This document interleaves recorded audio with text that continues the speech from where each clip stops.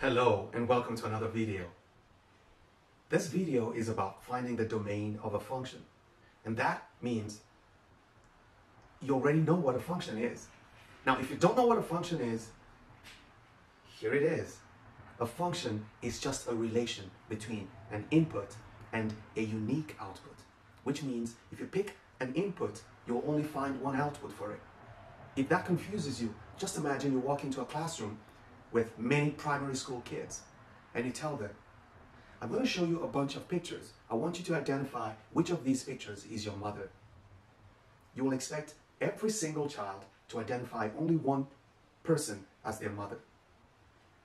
What if there's a child that says, this is my mommy, and that is my mommy, and this is my mommy, and then they start having three mothers, you know there's something wrong. The same thing for functions. Every input has only one mommy.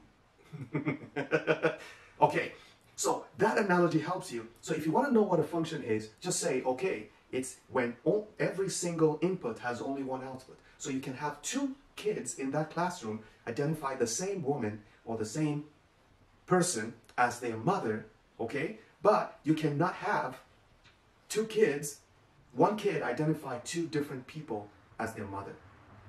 And that analogy helps you understand what a function is and what a function is not. Okay, now let's, since that is out of the way, let's get into this. What is the domain of a function? We're saying, what areas do we have to go to? What inputs do we have to use so that by the time we identify the output of this function, it will be real? You know, if one of those kids says, um, my mother is not here, my mother is not even human, my mother is not even a thing, my mother is just an imagination, then you know something is wrong. Therefore, the output of any function must be real. So that's the objective of determining the domain, okay? You have to say, okay, that kid is not one of our kids, that's an alien. Okay, so we don't want alien inputs, we want real inputs and real outputs. So the output of every function has got to be real. Therefore, whenever you have a function and you suspect that if you plug in an input, the output is going to end up giving you something that's not real, then you know you cannot use that input. It is not in the domain of the function. If that analogy helps you, let's start with the first function, polynomial functions. The most common polynomial function, you know, is a linear expression. So we can start and say linear. Uh, a good example would be you say f of x is equal to 3x minus 1.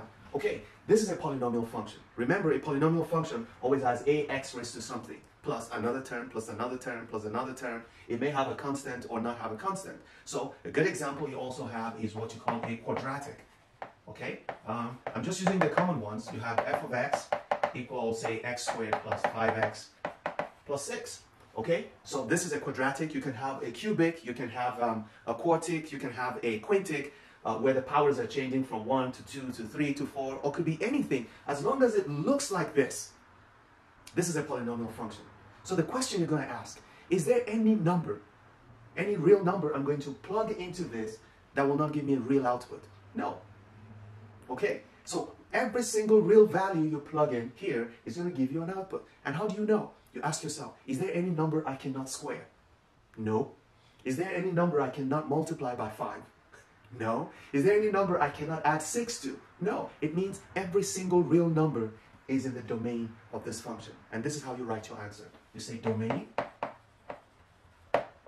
is all real numbers, or you say all real x. Some people write it that way. Another way, you can write it this way. You just abbreviate and say domain is from negative infinity well, infinity itself is not included, but we're starting from the number just after negative infinity. And what's that number? Well, remember it's an idea. So because we're using this curved parenthesis, we cannot include negative infinity itself. That's the meaning, okay? And then where are we going to stop? We're going to stop just before positive infinity. This is the same thing as this. Another way you can write that is to say D is the set of real numbers, okay? So you can say the set of real numbers, you can write it this way, you can write it this way. Another way, if you set um, a set builder notation, you can say the domain is the set of x such that x is real. Some people write it this way, or uh, they just do it this way. Okay? So, however the notation you require to present your answer, just master it. what's important is that you know that the domain of all polynomials is all real values of x or t or whatever variable. So we can as well just say all real numbers. Okay, I'm just going to change this. So let's go to the next kind of function, rational function. Okay, the second type of function you want to look for is a rational function, and it's very easy for you to deal with, just like polynomials. Because a rational function is actually the situation you have when you divide one polynomial by another polynomial. Okay, so it's just easy. Remember, the domain of any polynomial is all real numbers. The only thing we're trying to avoid is generating an answer that's not real. And the only time you won't get a real answer is when this bottom, bottom polynomial is going to give you a zero. Okay? You don't want to have that. So let's take an example. If you have f of x equals x squared over x minus 1. Okay, this is an example of a rational polynomial.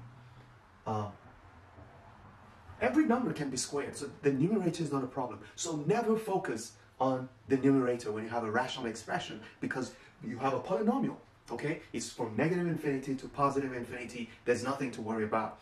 You should worry, however, about the denominator and ask yourself, will I ever have a value of x that will make this expression equal to zero? Yeah. So how do you know? Well, when this is equal to 1, I'm going to get 0. So your best bet is to just solve it. Just tell yourself that, do this, that x minus 1 cannot be equal to 0 because that's going to be a problem, okay? And that happens when x is not equal to 1. So what makes this equation valid, uh, this um, uh, function valid, is when x is not equal to 0. And you just tell yourself that the domain of this function is all real values, but x cannot be equal to 1. So some people write it this way, that the domain, okay, is such that um, is all real x, and then they say x is not equal to 1. This is one way you can say it. You can say the domain is from negative infinity. You can't just go past and get to positive infinity. When you get to 1, you have to take a pause because it cannot be 1. So just before 1, Okay, that's how you write that. Just before 1, and then you start again just after 1, and then you go all the way to positive infinity. So this is that value that you cannot have. Okay? Let's take another example. Let's say that uh, the function is f of x is equal to x squared plus 3x minus 1 divided by x squared plus 5x plus 6 so let's say this is the polynomial function. Remember, because the top is a polynomial, it's not a problem. You don't need to think about it. It's all real numbers. However, you don't want the values of x for which the denominator will be a zero. Because if this gives you zero, then this function becomes undefined, and undefined numbers are not real numbers. So infinity is not real. Well, I, I, believe you know that. Okay, infinity is not real, so we're avoiding it. So we're going to solve this. Um, the easy way to solve this is to say that x squared plus 5x plus 6 cannot be equal to 0. Which means, so I always like to say, to put it this way, because that way I know I'm answering my question. So cannot be equal to 0, and then I can factor this, that would be x plus 2, and x plus 3 cannot be equal to 0, which means this cannot be 0, and this cannot be 0. And when does that happen? If you solve these two, you have x cannot be equal to 2, I mean negative 2. Let's write it well x cannot be equal to negative 2, and x cannot be equal to negative 3. So when you write the domain of this function, you're saying that every value on the number line can work except negative 2 and negative 3. Okay, so how do you write the domain? Now that you have two things you must avoid. So we're going to say, let's write the domain here. We're going to say domain for this function, d, is such that if you start from negative infinity, you keep coming to the right until you get to the first of these. Well, this is the first one you get to negative 3, you got to take a break. After taking a break, you start again just after negative 3. You keep going to the right until you get to the next crazy number you've got to avoid, which is negative 2. Then, after that negative 2, you start again and you keep going. Well, there's no other number. Well, the next number you should avoid is infinity. Well, it's just imaginary. Okay. And this is the domain of this nice looking function. You notice that I didn't do anything about the top because I already know. Okay, so that's it.